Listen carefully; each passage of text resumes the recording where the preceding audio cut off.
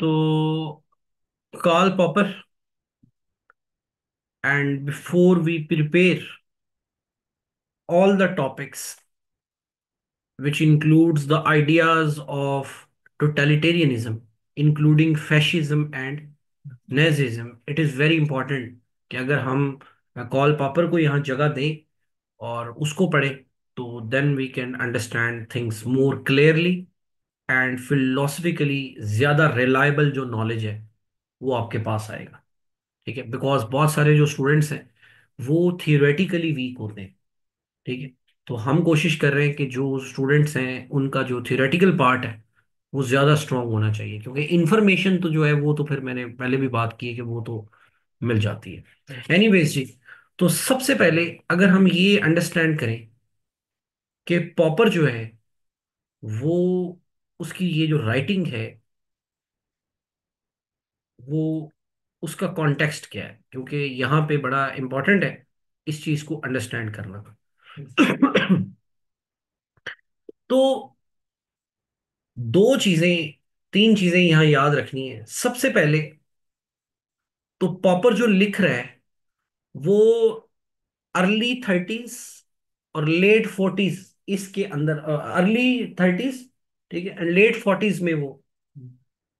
Early forties late thirties ये जो टन्यूर है इसके अंदर ही स्टार्टेड राइटिंग और उसके ऊपर जो बड़ा वो आप क्या कहते हैं गहरा असर पड़ा ठीक है? वो ऑब्वियसली जो वर्ल्ड वॉर्स हैं इंटर वॉर पीरियड है उसका पड़ता है। बिकॉज़ जो वायलेंस हुआ वर्ल्ड वॉर वन में वर्ल्ड वॉर टू में, ठीक है, उस वायलेंस ने फिर लोगों को इस क्वेश्चन के ऊपर मजबूर किया कि वो ये सवाल उठाएँ कि वो कौन से आइडियाज़ हैं, वो कौन सी आइडियोलॉजीज हैं जो इस सारे वायलेंस के अंदर जो है ना वो क्या कर रही हैं कंट्रीब्यूट कर रही हैं। तो वर्ल्ड वॉर्स ऑब्वियसली ठीक है, उसके लिए एक बहुत बड़ा जो है वो एक कॉन्टेक्स्ट था। अब ये बात अभी अधूरी है कि वर्ल्ड वॉर्स में ऐसा क्या था। तो वर्ल्ड वॉर्स के अंदर अगर आप देखें तो जो टोटलिटेरियन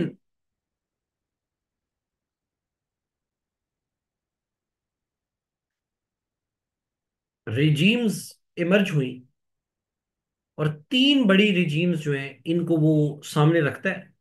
एक इटली के अंदर मैसेलूनी की सरबराही में फैशिज्म की मूवमेंट स्टार्ट हुई। फिर जर्मनी में नाजिज्म और रशिया के अंदर जो उस टाइम कम्युनिस्ट आइडियल्स के ऊपर चल रहे थे स्टैलिन ठीक है? तो ये वो लोग थे जो अर्ली ट्वेंटी सेंचुरी जो है वो आप जितनी मर्ज़ी हिस्ट्री की किताबें पढ़ ले तो ये आइडियोलॉजीज और इनके जो आइडियाज़ हैं ठीक है वो कहीं ना कहीं बहुत बड़ी कॉज थे उस वक्त जो दुनिया के अंदर तबाही और जो एक वायलेंस हुआ उसके अंदर, ठीक है? और ख़ास तौर पर, जी, ख़ास तौर पर जो उसने इस चीज़ को देखा वो ऑब्वियसली फैशिज्म और नाजिज्म था। लेकिन उसने एक और बड़ा जो, क्या कहते हैं थियोरेटिकली जो उसकी, उसका कॉन्टेक्स्ट है, वो मार्क्सिज्म है। क्योंकि मार्क्सिज्म आप पढ़ चुके हैं।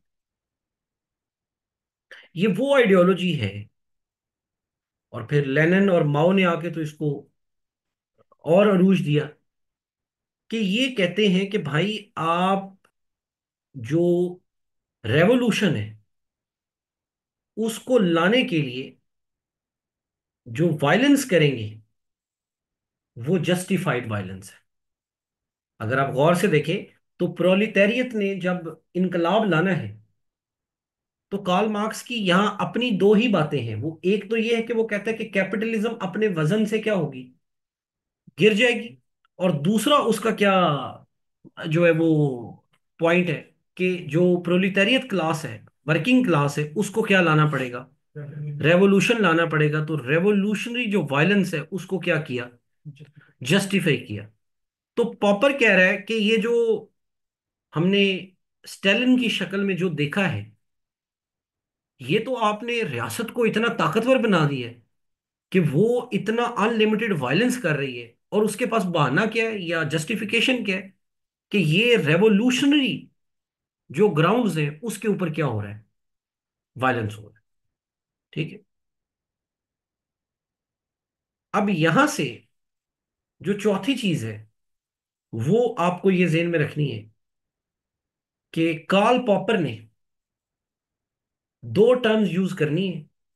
एक का नाम वो रखेगा ओपन सोसाइटी और एक का नाम वो रखेगा क्लोज्ड सोसाइटी अब जितनी भी सोसाइटीज, जो लिबरल डेमोक्रेटिक जो असूल हैं, उनके साथ अडहेर करेंगी, उनको वो क्या बोलता है? Open society. और वो आइडियोलॉजीज, जो टोटलिटेरियनिज्म, फैशिज्म, नाजीज्म, अथॉरिटेरियनिज्म, इन वैल्यूज़ के साथ एसोसिएट होंगी, वो होंगी क्लोज्ड सोसाइटीज। ठीक है?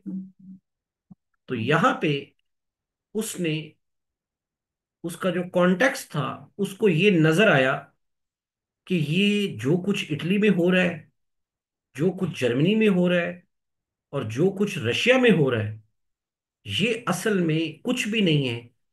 ये बेसिकली अथॉरिटेरियनिज्म ठीक है? और टोटलिटेरियनिज्म इसका एक राइज है।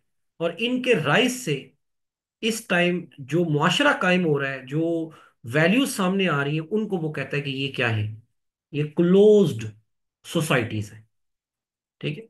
तो इस कॉन्टेक्स्ट में हमने यहाँ पे ये याद रखना है। तो हमें सबसे पहले ये जेन में रखना है कि वो ओपन सोसाइटी किसको कहता है? जी? कि उसके करीब ओपन सोसाइटी क्या है? तो सबसे पहले वो कहता है कि जो ओपन सोसाइटी है, उसके अंदर कोई भी ट्रूथ कोई भी आइडियोलॉजी वो फाइनल नहीं होती। यानी कि वो किसी भी अफाकी जो सच्चाई है, एक ही सच, उसका कायल नहीं है। और वो ये मानता है कि माशरे में तमाम अफराद को आज़ादी होनी चाहिए कि वो अपने माशरे में जो हुकूमत है या जो आइडियाज़ चल रहे हैं, उनको क्रिटिकली क्या करें? इवेल्युएट करें। ठीक है? उनको क्रिटिसिज्म का निशाना वो बना सकता है।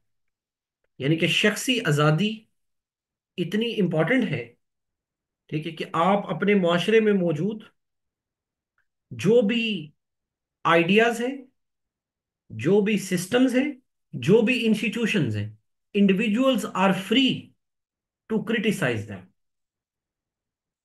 ठीक है? ताकि माशरा उस क्रिटिकल अप्रूवल के बाद क्या करता रहे? इंप्रूव करता रहे। ठीक है? उसके बाद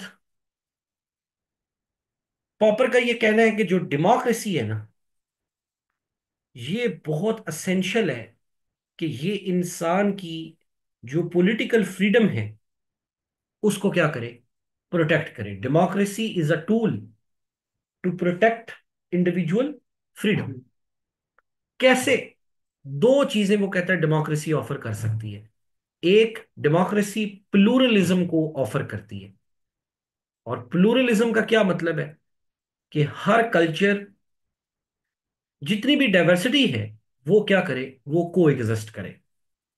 एक मल्टी कल्चरल मुआशरा और दूसरा रूल ऑफ़ लॉ ठीक है? अब यहाँ पे आप लोगों ने ये जेन में रखना है कि पॉपर जो है, वो डेमोक्रेसी को आइडियलाइज नहीं कर रहा। किस शक्ल में? कि ये अवाम की हुकूमत होगी।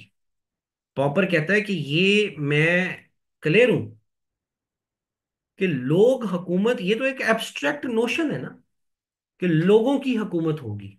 दुनिया में आज भी देख लो तो लोगों की हकूमत तो नहीं होती ना। अल्टीमेटली वो जो आप, जिन लोगों को मुंतखब करते हैं, जो आपके रिप्रेजेंटेटिव्स होते हैं, या आप, जो आपकी गवर्नमेंट होती है and those people are very few people ठीक है ना। तो वो डेमोक्रेसी को इस बुनियाद पे आइडियलाइज नहीं कर रहा कि ये लोगों की हुकूमत होगी, बल्कि वो इस पर तनकीद भी करता है।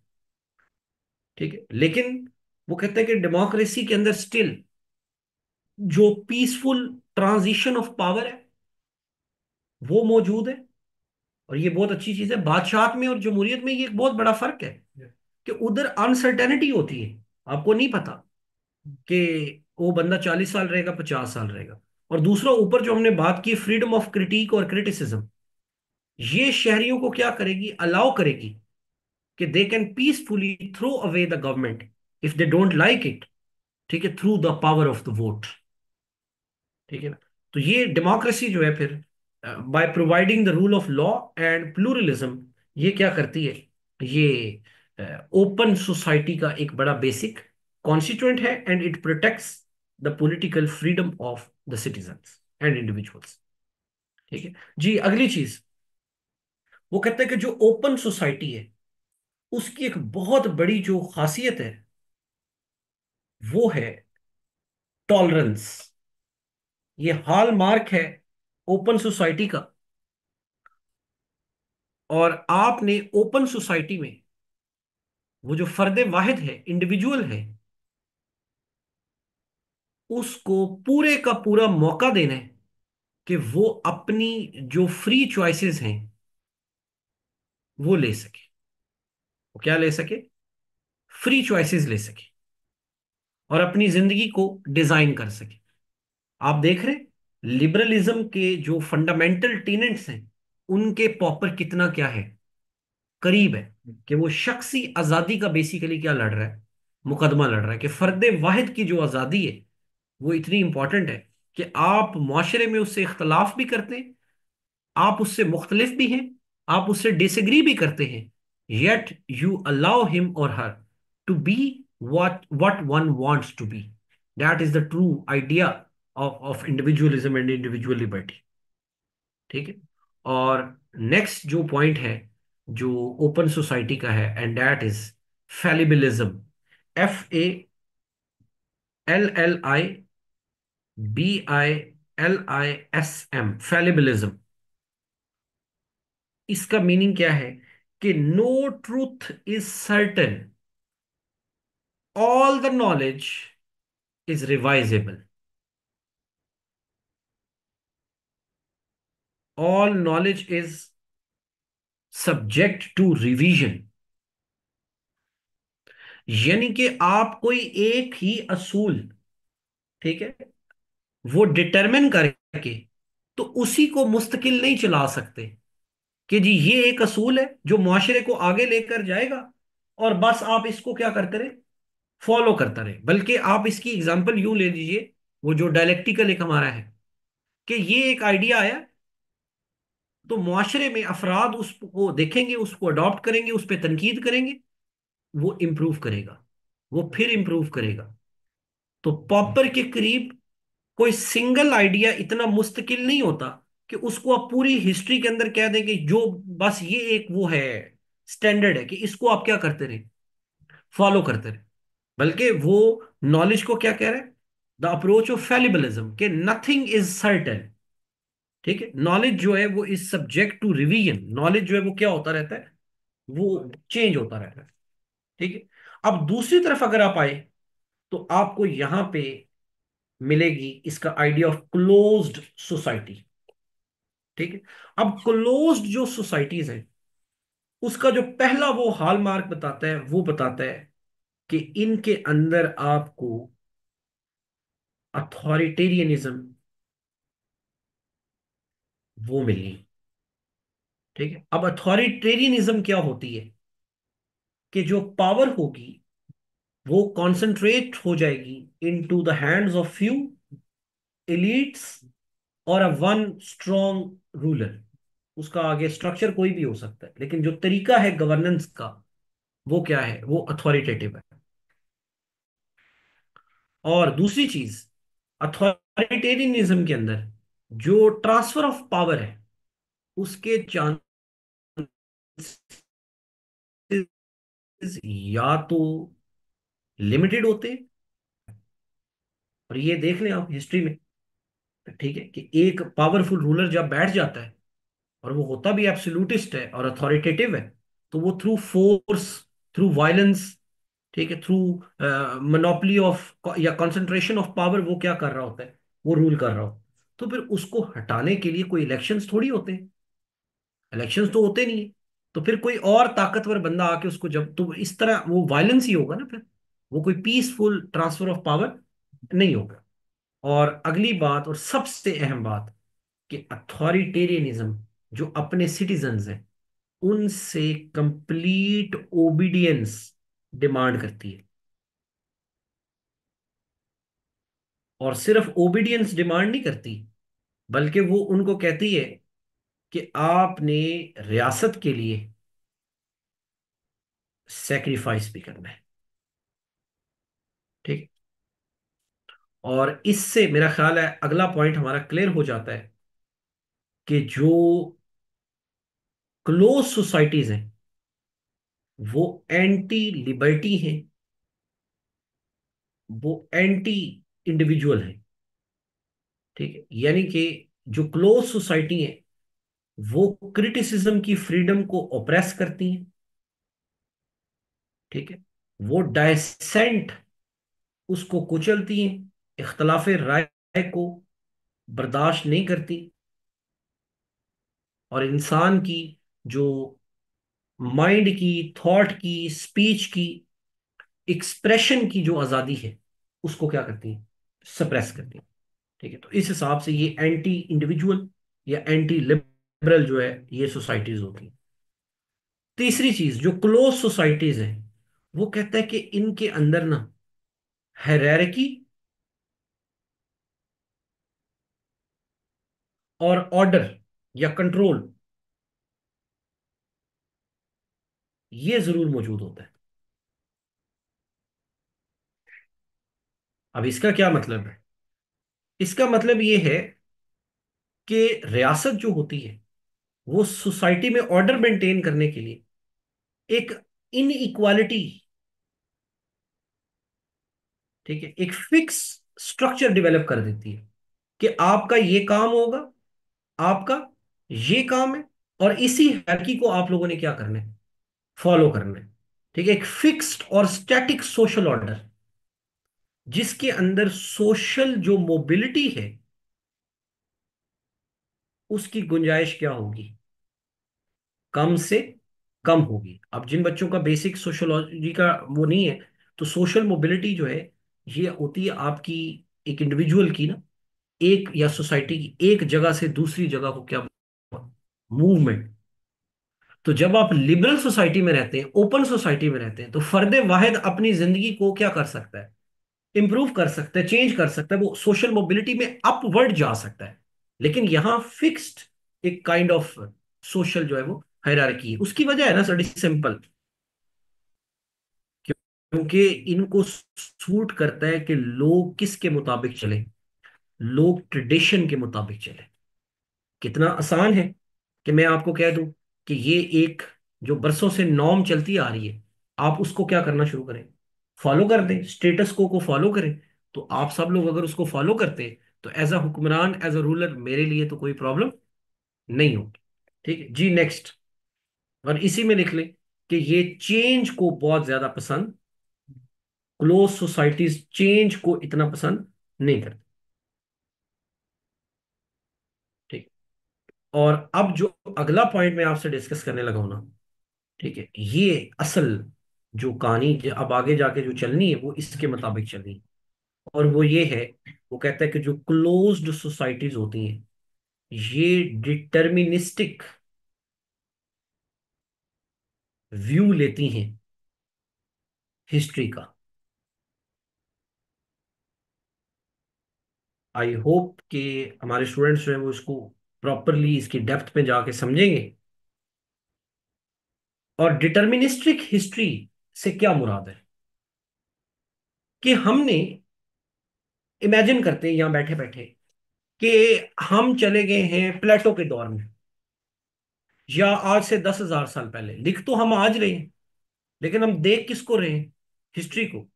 तो अगर एक बंदा ये कहे कि जो हिस्ट्री है, या जो इंसान की लाइफ है ये इस पे ऊपर इंसान का कोई इख्तियार नहीं है, बल्कि वो आपको बताते हैं कि हिस्ट्री का एक फिक्स्ड एंड डिफाइंड क्या है, रूट है, और इसने क्या लेना है?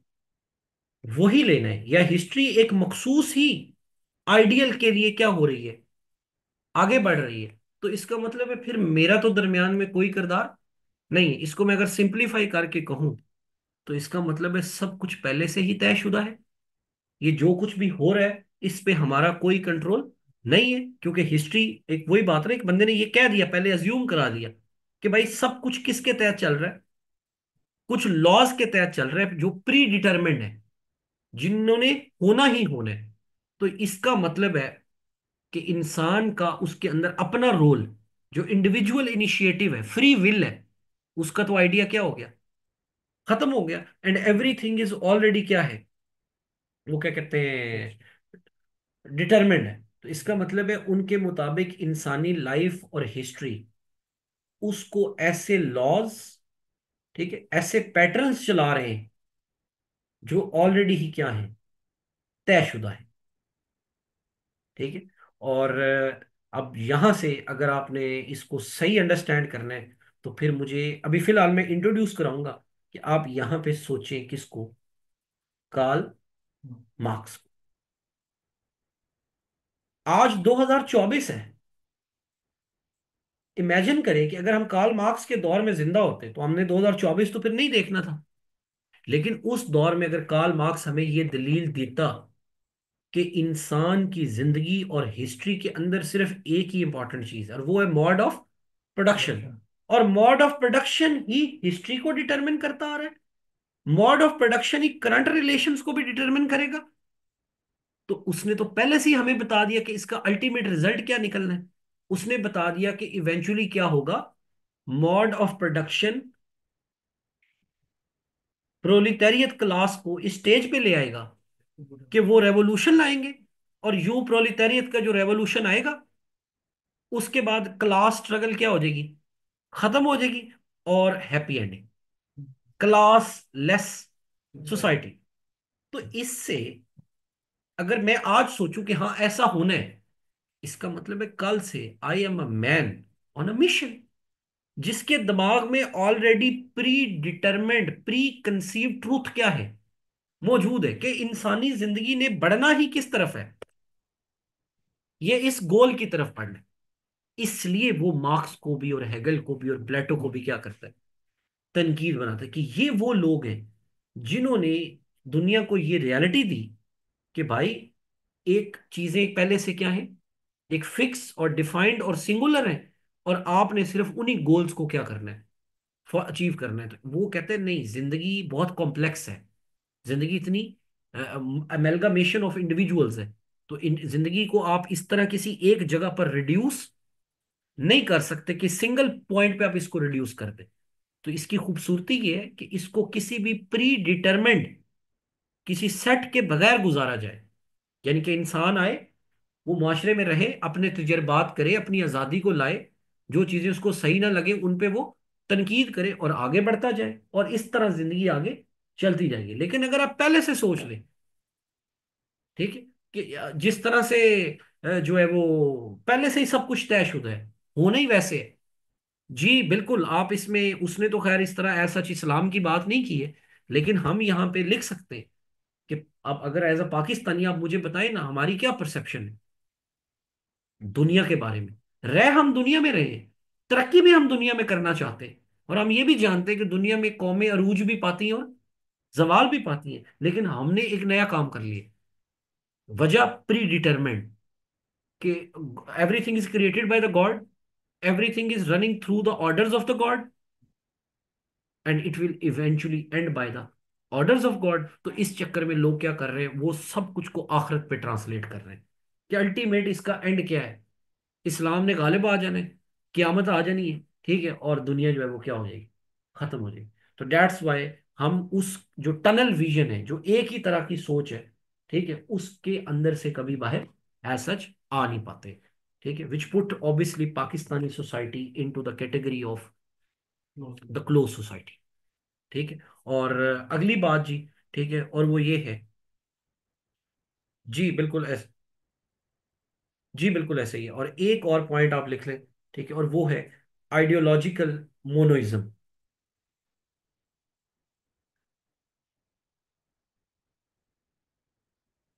आइडियोलॉजिकल मोनोइज्म अब ये वाला जो वर्ड है, ये आप लोग जानते हैं मोनोइज्म वननेस ठीक है? तो क्लोज्ड सोसाइटीज क्या करती हैं? वो मुआशरे को इस स्टेज पे ले आती हैं। लोगों को इस स्टेज पे ले आती है कि उनको सामने सिर्फ़ एक सच्चाई को रखते और उस सच्चाई को इतना ज़्यादा बढ़ावा दे दिया जाता है, उसको इस हद तक सच्चा बना दिया जाता है कि किसी और नज़रिए की, किसी और सच्चाई की गुंजाइश ही क्या कर दी जाती है? खत्म कर दी जाती और वो कहते हैं कि ये सोच नज़र आई मुझे मैसेलूनी के, इटली में, हिटलर के, जर्मनी में और स्टैलिन के, रशिया में, कि वहाँ पे लोगों को नजरियाती तौर पर इस हद तक उसकी कन्विक्शन दे दी गई कि वो चीज़ इस हद तक सच्ची है और उसी की तरफ़ दुनिया ने बढ़ना है तो फिर इंसान मरने और मारने से भी बाज नहीं आता। तो जिस तरह की जिंगोइज्म और जिस तरह की एक इज्तमाही वहशत वर्ल्ड वार वन और टू और इंटर वार के दरमियान हमें देखने को मिलती है। मैं कल अभी बात कर रहा था दोस्त के साथ कि आज हम पॉपुलिज्म अभी हमने टेस्ट की है। ट्वेंटी फ़र्स्ट सेंचुरी में अभी कोई बहुत बड़ी कोई आलमी जंगे नहीं पॉपुलिज्म से शुरू हो गई या पॉपुलिस्ट लीडर ने कोई जंगे नहीं शुरू करा दी।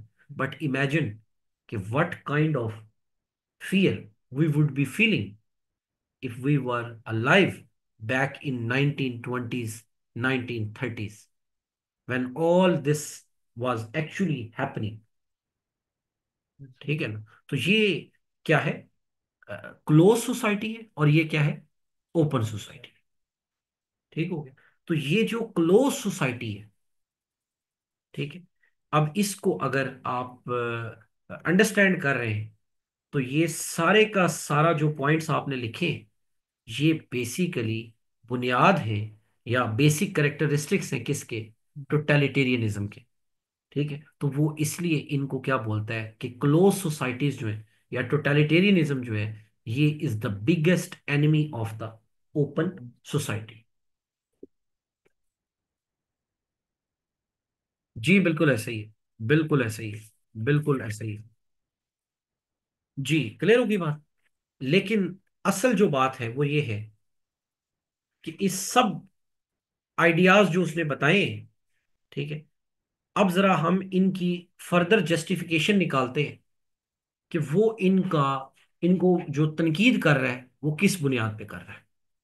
तो सबसे पहला जो क्रिटिकल यहाँ पे हम डिस्कशन करेंगे वो कार्ल पॉपर ने अपनी किताब का जो पूरा पहला वॉल्यूम है, उसको प्लेटो के ऊपर लिखा है। और वो अटैक करता है प्लेटो के first attack we will call it the first attack जो फ़र्स्ट अटैक उसने किया है, वो उसने किया है प्लेटो पर, और उसमें भी खास तौर पर प्लेटो की थेरी ऑफ़ फॉर्म्स के ऊपर। थेरी ऑफ़ फॉर्म्स के ऊपर। तो पहला जरा थोड़ा दिलचस्प था तो इसलिए वो मैंने पहले करा दिए। अब इसमें याद रखें कि अभी जो भी मैं आर्ग्यूमेंट देने लगा हूँ ना, इसको आप लिख सकते हैं कि पॉपर के करीब जो मॉडर्न टोटेलिटेरियनिज्म है, या फैशिज्म है, या नाजिज्म है, उसकी जो बुनियाद है, वो कहता है, यानी कि वो कह रहा है सीधे लफ्जों में कि Plato is the first totalitarian thinker ठीक है ना? तो अब जरा प्लेटो साहब को भी आपको डिफरेंट एंगल से देखने का पढ़ने का क्या मिलेगा? मौका मिलेगा। ठीक? चले जी अब हम इसको स्टार्ट करते हैं। तो theory of forms if you guys remember तो प्लेटो ने कहा कि दुनिया में जो भी चीज़ है उसके दो हिस्से हैं। एक उसकी मटेरियल टेंजिबल फॉर्म है और एक उसकी आइडिया है। या अब उसका नाम अब आप काफ़ी रीडिंग आपने कर ली है। तो अब हम उसको लिए वर्ड जो प्रॉपर यूज़ करेंगे वो कौन सा है? फॉर्म कौन सा? आप आइडिया भी कह सकते हैं। फॉर्म या आइडिया अब इस बाइफर्केशन में इफ़ यू गाइस रिमेंबर तो उसने क्या कहा था कि जो मैटर है, ये तो है उस चीज़ की जो फ़िज़िकल या जो टेंजिबल साइड है, वो है। और ये तो क्या होती रहती है? चेंज होती रहती है।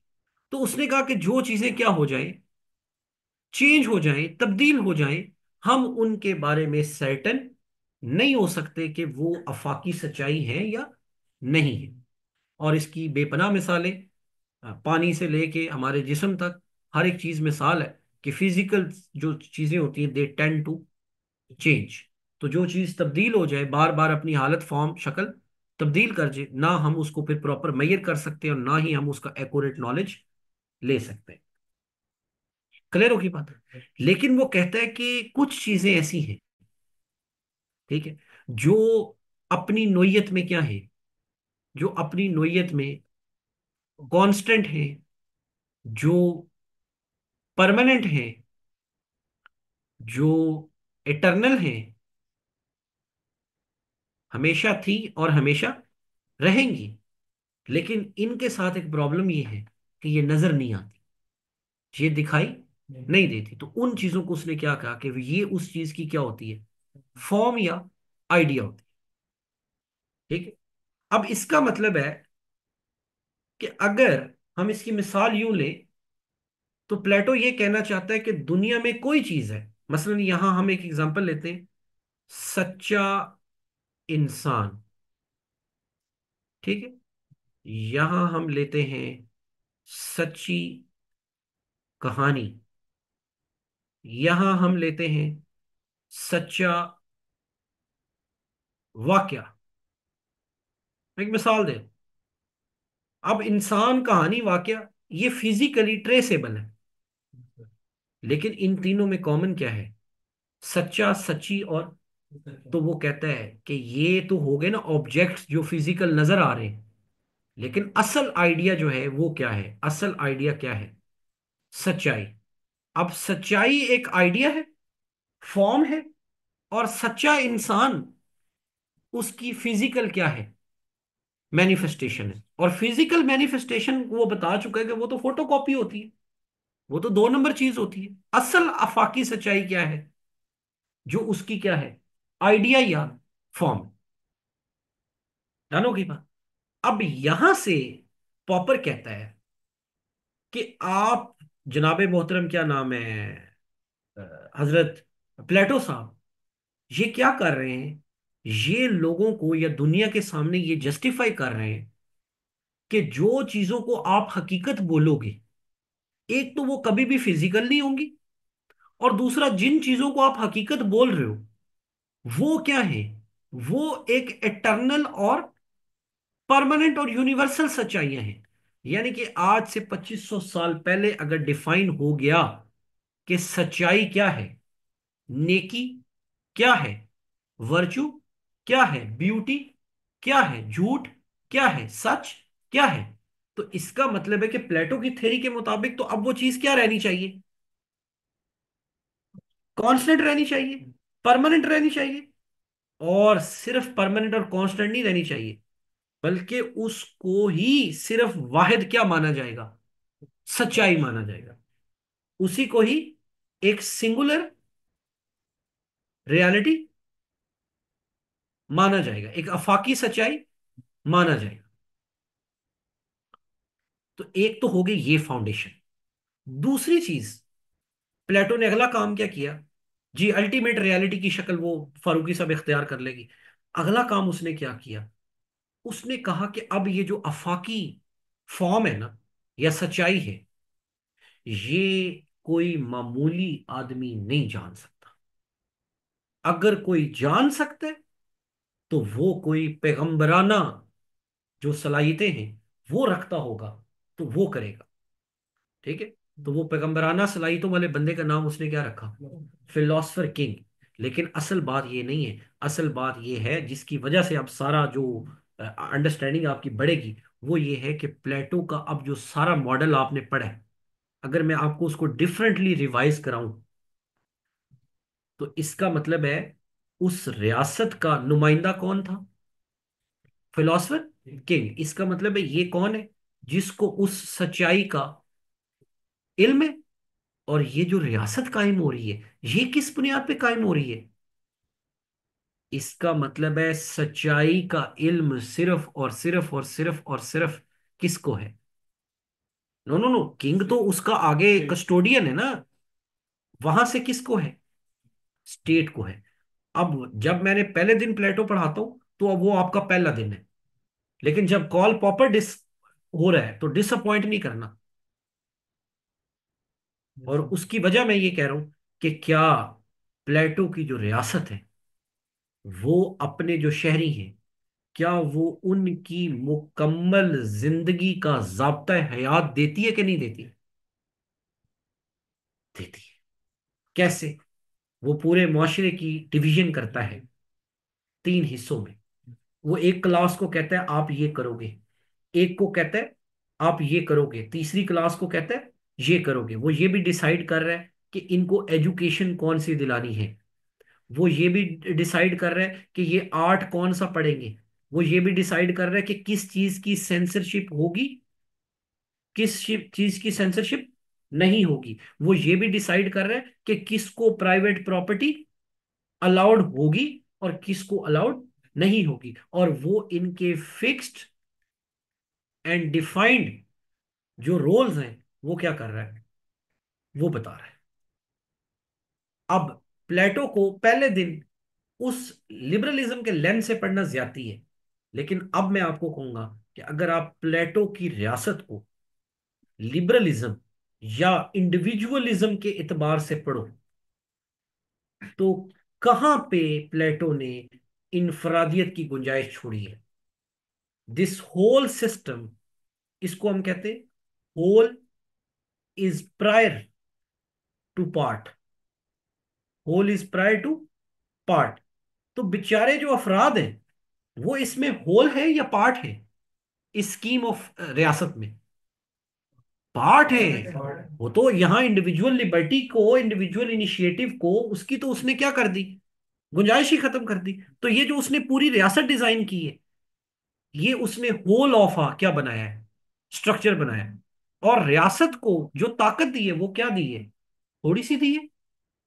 या लिबरल रियासत की तरह उसको, रियासत को ये कहा है कि आप इनकी खादम है।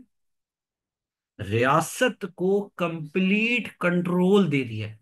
और अगली बात आए इसका इंचार्ज किसको बनाया है? लोगों को बनाया नहीं। लोगों की कॉन्सेंट और विल को बनाया नहीं। बल्कि एक, मैंने कहा ना प्रॉफिट लाइक मैं प्रॉफिट का वर्ड इसलिए बोल रहा हूँ कि आपके जेन में एक बड़ी पावरफुल सी पर्सनैलिटी आए। समवन विद एक्सेप्शनल इंडिविजुअल बल्कि मैं पूरा बात कर देता हूँ कि someone who knows that universal permanent eternal constant सच्चाई। उसको जो जानता है। तो आम आदमी के लिए इंडिविजुअल के लिए सब कुछ, और इधर आपको उसकी आज़ादी इंडिविजुअल ने डिटरमिन की है, या रियासत आपको बता रही है कि आपने इस, इसके अंदर कैसे चलना है। तो इसका मतलब है प्लेटो के लिए ज़्यादा इंपॉर्टेंट है ऑर्डर उसके लिए ज़्यादा इंपॉर्टेंट है स्टेबिलिटी उसके लिए ज़्यादा इंपॉर्टेंट है होल नॉट पार्ट और इसका मतलब है सबसे समझदार फिर कौन हुआ? रियासत। तो सबसे ताकतवर भी कौन होगा? सबसे पावरफुल भी कौन होगा? स्टेट होगी। और सारा ज़िंदगी के ऊपर जो टोटल इख्तियार है, ठीक है? आपने अगर रीडिंग की है प्लेटो पे तो आप देखेंगे कि वो इवन जो खातन है, उनको भी बता रहा है कि आपने क्या करना है, क्या नहीं करना बच्चों का भी बता रहा है, बूढ़ों का भी बता रहा है। वो आपको लिटरेचर आर्ट अदब हर एक जो चीज़ है, वो क्या कर रहा है, उसको बता रहा है। अब आप कहेंगे कि इस बात का मॉडर्न जो टोटलिटेरियनिज्म है, या फैशिज्म है, या नाजिज्म है, उससे क्या लेना देना है तो बिल्कुल इधर ही अटैच करें। कि जो आइडिया है ना स्टेट का मॉडर्न जो फैशिज्म नाजिज्म या टोटलिटेरियनिज्म का है, वो पता है किस, क्या आइडिया है? वो बिल्कुल एग्जैक्टली एक्यूरेटली यही आइडिया कि ये रियासतें भी क्लेम करती हैं या थ्योरेटिकली ये आइडियोलॉजीज क्लेम करती हैं कि दुनिया में एक अफाकी सच्चाई है। उस अफाकी सच्चाई के सच को कौन जानता है? हम जानते हैं और वो हमने किसके स्पुर्द करना है सारा प्रोजेक्ट। और स्टेट क्या करेगी? स्टेट हमारी लाइफ के स्टेट हमारी लाइफ के हर एक पार्ट में हमें गाइडेंस प्रोवाइड करेगी। यानी कि इंडिविजुअल ताबे हो जाएगा किसके? स्टेट के। और स्टेट क्या हो जाएगी? ऑल पावरफुल यानी कि यहाँ रियासत एक एंड है। इंडिविजुअल एक मीन है। और जब रियासत समझदार है और सबसे आला व अरफा है, और वो उस कांस्टेंट और परमानेंट जो रियलिटी है, उसको क्या करती है? जानती है। तो इसका मतलब है कि रियासत की जो पावर होगी, वो फिर कितनी होगी? वो एब्सोल्यूट होगी, वो अनलिमिटेड होगी, और इंडिविजुअल जो होगा, वो रियासत के अंदर जम होगा। यानी कि जो पार्ट होगा, वो अपने लिए पार्ट नहीं होगा। वो पार्ट इसलिए है क्योंकि उसका हिस्सा है किसमें? होल के अंदर और whole is more important and superior than the part इसलिए पॉपर जो है वो कहता है प्लेटो को कि वो उसकी सोसाइटी को लिख ले वो कहते हैं वो क्लोज्ड सोसाइटी थी। उसमें सेंसरशिप थी उसमें फिक्स्ड हैरारकी थी उसमें इंडिविजुअल लिबर्टी की गुंजाइश थी और उसमें जो रियासत थी वो आपकी पूरी की पूरी जो लाइफ है उसकी टोटलिटी को क्या कर रही थी? जस्टिफाई कर. That's why we call it the totalitarian society और टोटलिटेरियन स्टेट या क्लोज सोसाइटी और दूसरी बात कार्ल मार्क्स या हेगल मैं दोनों को इकट्ठा डिस्कस कर लेता हूँ। टाइम भी बच जाएगा हमारा। अब हेगल को देखो तो हेगल जो है उसके मुताबिक जो ह्यूमन हिस्ट्री है और जो ह्यूमन लाइफ है, ठीक है, ये वो कहता है कि एक रैशनल स्पिरिट है। ये क्या है? रैशनल स्पिरिट है। और ये एक प्री डिटर्मिनिस्टिक एंड की तरफ़ बढ़ रही है कि जब ये स्पिरिट जो है या रैशनल स्पिरिट ये किसके अंदर आ जाएगी? स्टेट के अंदर, यानी कि एक ऐसी रियासत का क्याम आ जाएगा, जो इंसान की अकल का एक क्या होगा? अल्टीमेट पिनेकल होगा। अल्टीमेट क्या होगी? पीक होगी। यानी कि जब इंसान अपनी स्पिरिट की अल्टीमेट जो फ्रीडम है, वो क्या करेगा? रियलाइज़ करेगा। तो वो अल्टीमेट फ्रीडम उसको कहाँ पे मिलेगी? स्टेट के अंदर, उस रैशनल रियासत के अंदर। ठीक है? तो ये भी बेसिकली अगर आप इसको थ्योरेटिकली डिस्कस करें मैंने चूँकि एक दफ़ा कर दिया बार बार वो लंबा हो जाएगा फिर तो कहने का मकसद है कि बेसिक आइडिया तो वही है कि स्टेट इज़ ऑल पावरफुल बल्कि यहाँ एक फिक्रा लिखे आप कि state is the moving God on earth is the ultimate God's consciousness यानी कि शऊर और अकल की जो इंतहा है ना ठीक है वो ज़मीन के ऊपर सबसे ताकतवर जो अकल का मजहर है वो कौन होती है? स्टेट होती है।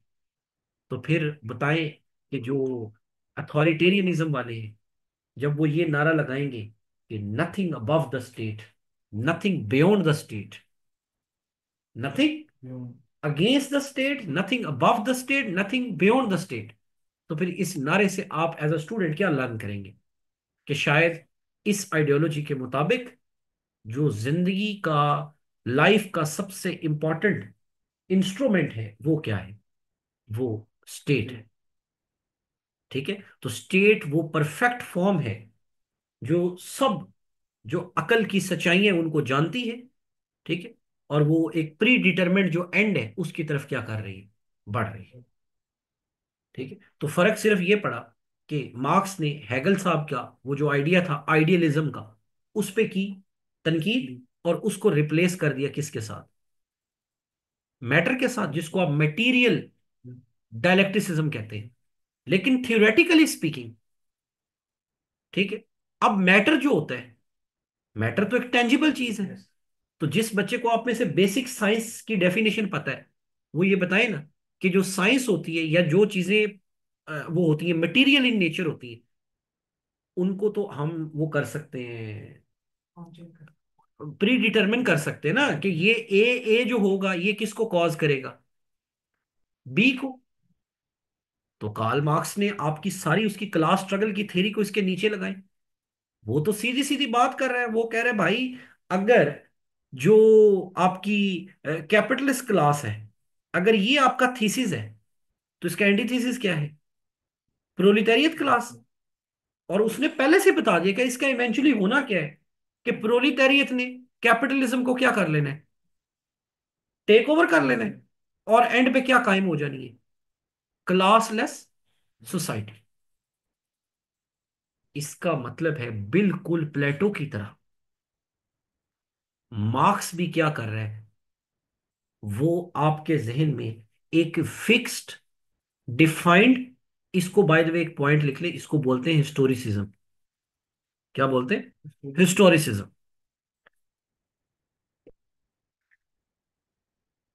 और इसके लिए एक और टर्म भी ले ले एसेंशियलिज्म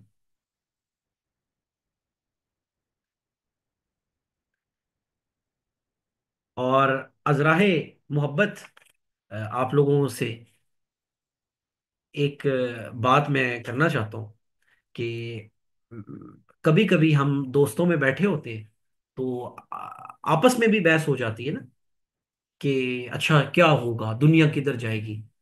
तो जो लोग एसेंशियलिज्म के कायल होते हैं, वो देखोगे आप आप अपने हल्का अहबाब में भी कि वो सारी बात घुमा फिरा के एंड पे एक बात कर देंगे। देखिए जी दुनिया जिधर भी जाए एंड पे आना तो इस्लाम ने गालिब है ना। ये आप में से जितने लोग जिनका रिलीजन जो है वो इस्लाम है वो ईमानदारी से बताएँ कि क्या ये बात आप लोगों को सोशलाइजेशन के दौरान कहीं ना कहीं ये बात आपके जहनों में बैठी हुई है कि नहीं बैठी हुई? कि जो भी हो जाए एंड पे गालिब किसने आना है? ये है एसेंशियलिज्म ये है डिटर्मिनिज्म ये है स्टोरिसिज्म कि आप एक चीज़ अभी पंद्रह पे है, ठीक है, और आपने पहले से क्लियर कर दिया है कि भाई असल जो अफाकी सच्चाई है वो ये है कि हमने कहाँ तक पहुँचना है। नाइनटी तक पहुँचना है, यही काम कार्ल मार्क्स कर रहा है, कि उसने पहले से प्री डिटरमिन कर दिया कि हिस्ट्री ये चीज़ है मटेरियल की आपस में क्या होगी डायलेक्टिकल मूवमेंट होगी, और करते करते इसकी फाइनल स्टेज कौन सी होगी, जब हम क्या अचीव कर लेंगे? क्लासलेस तो सवाल ये हुआ तो नहीं है। कार्ल मार्क्स की जो प्रोडिक्शन थी उसके मुताबिक हुआ तो नहीं। लेकिन उससे लोगों को क्या हो रहा है? उससे लोगों को तो चले जो हो रहा है हो रहा है। लेकिन ये सारा एक्शन करना किसने है? ये प्रोलिटेरियत ने आके किस पे कब्जा करना है? स्टेट पे। और स्टेट ही की पावर को इस्तेमाल करके उन्होंने क्लासलेस सोसाइटी स्टैब्लिश करनी है। तो इसका मतलब है सारी पावर आप फिर किसको दे रहे हो? और इसको वो कहता है कि जब स्टेलन जैसे लोगों ने इस आइडिया को लिया तो उन्होंने स्टेट को जस्ट यूज़ किया रेवोल्यूशनरी वायलेंस करने के लिए। यार, जब मुझे पता है कि मैं काम नेक कर रहा हूँ, और मेरे एंड पे खुदा ने या मेरे फिलोसफर ने मुझे ये बता दिया है कि गालिब तुम ही आओगे फतेह तुम्हारी होगी। तो मेरे जहन में क्लैरिटी है कि मैंने तो इस, ये काम में बुरा तो कर ही नहीं रहा। मैं तो जिहाद कर रहा हूँ, मैं तो कोई नेकी कर रहा हूँ। ये चीज़ काम करती है आपके साथ इस तरह की आइडियोलॉजीज जो हिस्टोरिसिज्म और इसेंशियलिज्म के ऊपर बिलीव करती है। कि ये चीज़ें हिस्ट्री में होनी होनी है, ये एसेंशियल है। इधर इन्हीं की तरफ़ हम बढ़ रहे हैं। इन्हीं की तरफ़ हम, और यहाँ थोड़ी सी क्लास आप अरिस्टोटल की भी लगा सकते हैं। टीलियोलॉजी टीलोस का वर्ड अरिस्टोटल के अंदर है। टीलोस एक कह ले ब्रांच ऑफ़ फिलोसफी है, जो ये कहते हैं कि हर चीज़ किसी पर्पस की तरफ़ बढ़ रही है। उसका कोई एंड है। तो पॉपर की बातों से ये लग रहा है कि वो ओपन एंडेड छोड़ना चाहता है। वो नहीं चाहता कि आप एज अ इंसान वो ज़िंदगी गुजारे जिसमें पहले से ही प्री डिटरमेंट क्या हो? आइडियाज़ हो। बल्कि वो तो कहते हैं कोई भी आइडिया है मोस्ट वेलकम आ जाए और ओपन सोसाइटी का ये खासा है कि वो क्या करेगी? वो उसको समझेगी, चलाएगी, उसको देखेगी और अगर उनको लगेगा कि इसके ऊपर क्या हो सकती है? तनकीद हो सकती है, ये चीज़ें रिवाइज हो सकती हैं तो वो उस पर बार बार क्या करते रहेंगे? तनकीद और इस तरह इंसान एरर और ट्रायल के थ्रू इंप्रूव भी होता जाएगा और अपनी ज़िंदगी, वो कहते हैं ना, जहाँ ले चले तो जहाँ ले चले, ज़िंदगी फिर वही चलते जाए ये नहीं है कि आप कहें कि ये एक फ्री डिटरमेंट मेरा फिक्स्ड ऑब्जेक्टिव है, क्योंकि ये चीज़ फिर क्या करती है? अब यहाँ से ग्राउंड सेट हो गई है और ये चीज़ क्या करती है? रियासत को क्या देती है? अल्टीमेट पावर देती है। और यहाँ पे मैं आखिरी बात करूँगा कि when we read the topic totalitarianism fascism और नेजिज्म बाकी सब गप प्रोग्राम है। असल जो चीज़ है, वो ये है कि ये सारी आइडियोलॉजीज बेसिकली इनको बोला जाता है the ideologies of state statism ideologies of statism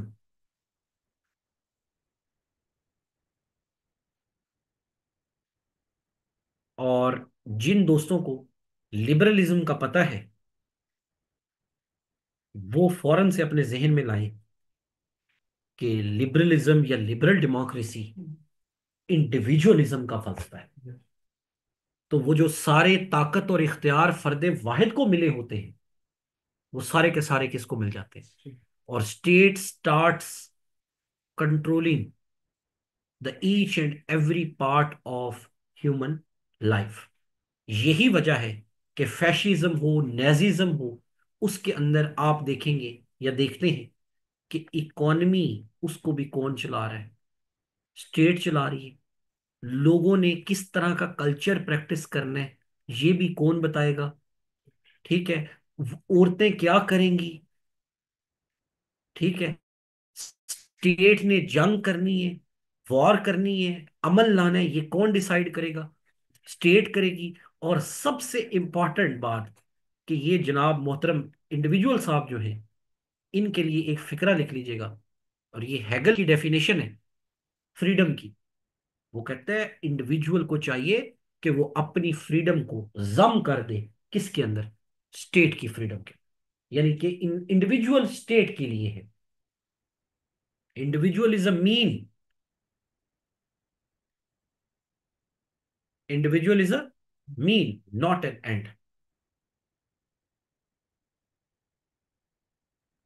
तो that is how Karl Popper not only traces out the origins, ideological, theoretical origins of the modern uh, fascism, Nazism, and totalitarianism, but he also highlights highlighted actually the dangers जो इन ideologies से क्या हो रहे थे पोज हो रहे थे to the individual individual freedom उसके राइट्स ठीक है एंड द डेमोक्रेसी और उसका सोल्यूशन हम पहले भी डिस्कस कर चुके हैं कि जो सोल्यूशन उसने प्रपोज किया वो था कि establishment of an open society और इन्हीं चीज़ों को वो कहता है कि ये क्या है? ये हमारे जो फ्यूचर है, इंसान की जो मूवमेंट है upward movement into the history वो इन्हीं ओपन सोसाइटी के आइडियल्स पर अगर होती रहे तो that is perfect and best done होगी बात जी ठीक है?